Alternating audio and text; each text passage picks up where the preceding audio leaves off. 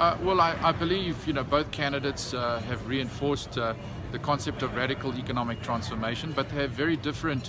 views of emphasis and very different views on what kind of state and how it will be managed going forward.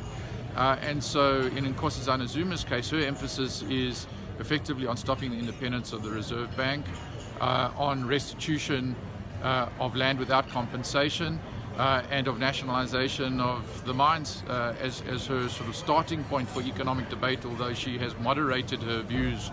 of late. In the case of uh, Cyril Ramaphosa, the Deputy President uh, has put forward his New Deal, uh, which effectively sets out an inclusive growth plan to target 3% to 2018, growing to 2023 5%, and sets out a very clear program of how the social partners between government, business, and labor would cooperate to uh, grow jobs, uh, focused on manufacturing, on restoring the stability in sectors like mining, uh, but at the same time, through the service sector, through tourism and others, uh, grow the economy. And quite frankly, I think people are looking for the balance between how do we grow the economy and how do we transform it. Uh, and so, uh, you know, you cannot have transformation without growth. There will be no money to pay for it.